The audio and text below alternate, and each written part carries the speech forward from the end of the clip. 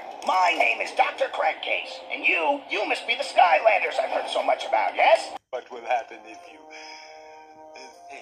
Oh, great, great, all right. Well, let's do this then. Very well. If that is your decision.